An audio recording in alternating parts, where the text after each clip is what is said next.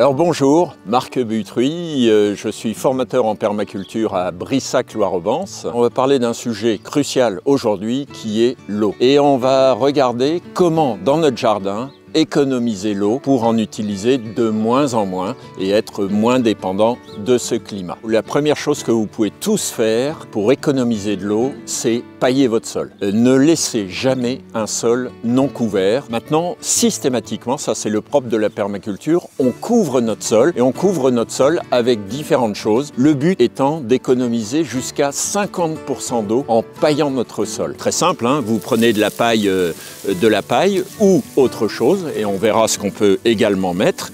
Vous avez ici des cultures qui sont en train de se développer et vous allez les couvrir. Alors pourquoi on les couvre? C'est pour garder la biodiversité, bien sûr, hein, les vers de terre, n'oublions jamais les vers de terre qui sont là, qui travaillent dans notre sol. Ils ont besoin d'humidité et cette humidité, elle va éviter de transpirer ou de disparaître par évapotranspiration. Donc on couvre son sol et on bichonne nos petites plantes, on les met dans des, dans des nids de paille comme ça et vous allez voir que la consommation d'eau sera réduite de moitié, ce qui est essentiel et c'est accessible à tout le monde.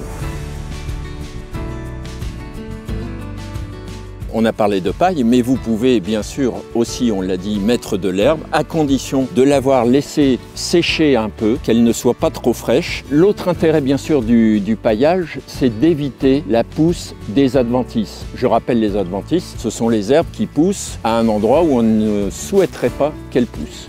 C'est ce qu'on appelait autrefois les mauvaises herbes, mais en permaculture, il n'y a pas de mauvaises herbes. Donc de l'herbe, on prend de l'herbe qui a séché, et même principe, ici j'ai un pied de, euh, un futur pied de courgette, je vais bien pailler mon pied de courgette de façon à garder l'humidité au pied et de nourrir en même temps mes vers de terre et ma biodiversité. On a parlé d'économie d'eau en paillant le notre sol, mais si on parle jardin et si on parle dérèglement climatique, aujourd'hui, on doit concevoir son jardin différemment. C'est-à-dire que auparavant, le maître de mots, c'était je fais mon jardin en plein soleil et j'attends que ça chauffe. Aujourd'hui, on est plutôt à dire je mets mon jardin à un endroit où il y aura un peu d'ombre. Donc Commencez à planter des arbustes comme celui-ci par exemple, regardez, ça c'est magnifique, c'est un genêt de Pologne, une croissance rapide, ça vous amène de la couleur, de la fleur, toujours la biodiversité, et derrière vous allez avoir de l'ombre pour vos cultures. Vous avez un autre arbre très intéressant, c'est le figuier, là il est en pleine croissance, on voit les premiers fruits qui se développent,